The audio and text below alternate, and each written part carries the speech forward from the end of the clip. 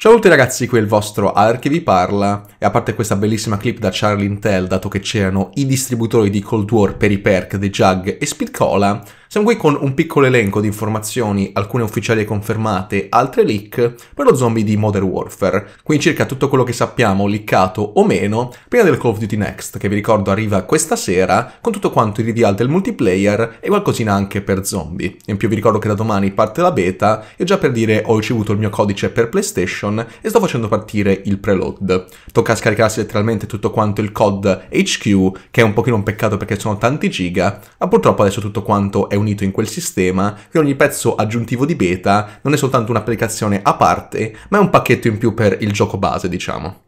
Ciò non toglie, vediamo un attimo tutto quanto questo elenco. Come detto prima, alcune informazioni sono veritiere e confermate, altre invece sono dei leak o rumor, per cui tutto quanto potrebbe cambiare con il reveal, che comunque quando vedrete questo video è a pochissime ore di distanza.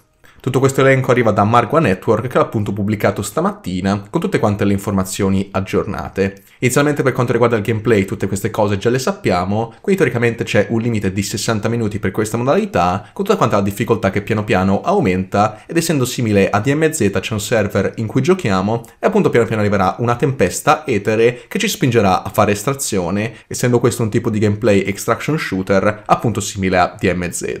Proprio riguardo c'è tantissima enfasi a riguardo per tutto quello che possiamo raccogliere e utilizzare anche nei game successivi. La mappa in sé sarà quella di MV3, ambientata in Urzikistan. Come detto prima c'è soltanto un server per tutti quanti, siamo 24 giocatori in totale, 6 squadre da 4 player e appunto tutto quanto è soltanto PvE, nessun tipo di PvP. I nemici che torneranno sono sicuramente i Mimic, visto anche in quello che è stato il reveal iniziale con uno screenshot, ma anche teoricamente gli Abomini, i cani, i Mangler, quindi i Laceranti, i Discepoli e forse anche i Panzer. Si parla anche di Mega Abomini che esistono, non sappiamo se è la versione alternativa degli Abomini normali o semplicemente una versione un pochino più grande e resistente. Si parla anche di un nemico nuovo come un boss chiamato Gormgant. Sono presenti in questa modalità non soltanto gli zombie, ma anche umani controllati dall'IA, che sono appunto dei mercenari di tre tipi, molto simili appunto a come è in DMZ, e più ci avviciniamo al centro della mappa, più ci sono degli zombie molto resistenti, ma anche maggiori ricompense. Ci sono anche tutti quanti i convogli corazzati e le roccaforti da poter essere lootate. Sembra siano disponibili anche delle roccaforti infestate chiamate nidi di etere, che presumo siano tutte quante piene di zombie e anche queste ricompense. Sono comunque disponibili delle serie di uccisioni, tra cui anche la torretta robot. Ci sono inoltre delle cosiddette Harvester Orbs, che sono appunto delle palline a cui poter sparare sparse per la mappa, il che mi ricorda un pochino Epidemia. Sono quindi di conseguenza disponibili i contratti, che saranno probabilmente delle piccole missioni con anche delle ricompense, che siano di XP o magari delle armi o oggetti, per completare altre quest. Tornerà quindi il Pack-a-Punch con tier da 1 a 3 e anche tutte quante le rarità delle armi, come già visto per dire su Cold War. Torna ovviamente la cassa, come detto prima, il pack-a-punch, le casse di munizioni, le armi a muro e le buy stations, come su Warzone, per poter acquistare alcuni oggetti o abilità che ci interessano. Tutto quanto può essere quindi ottenuto in seguito venduto, tra cui anche la carne di zombie.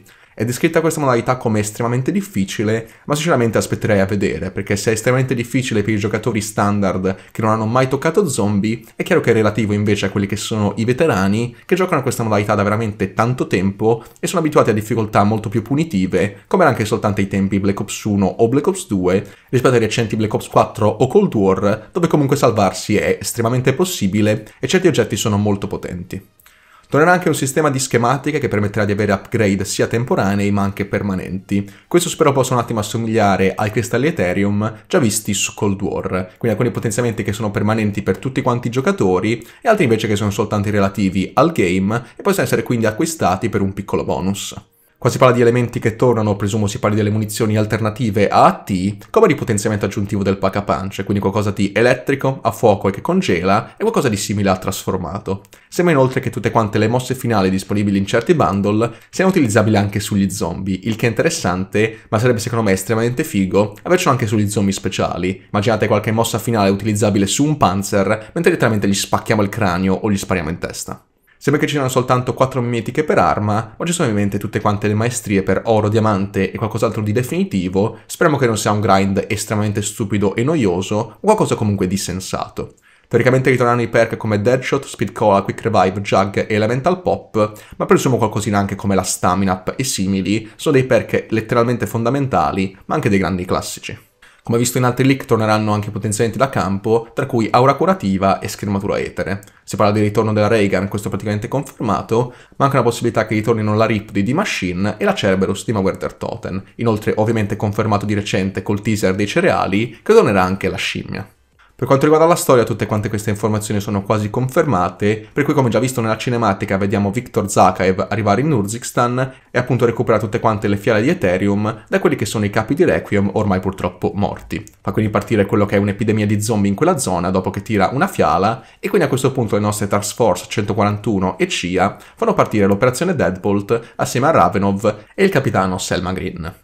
Inoltre la fazione di mercenari Terminus Outcomes lavora con Zakaev, capitanata da Jack Fletcher. Come si può immaginare, essendo simile a DMZ, anche tutta quanta la storia verrà raccontata tramite missioni, ma si accenna anche a qualche piccola cutscene alla fine di ogni singolo capitolo. Possiamo sperare che siano fatte veramente come si deve e che possano comunque spiegare la storia, ovviamente in concomitanza con alcuni easter egg che oltre che di gameplay possono fare un attimo anche di storytelling.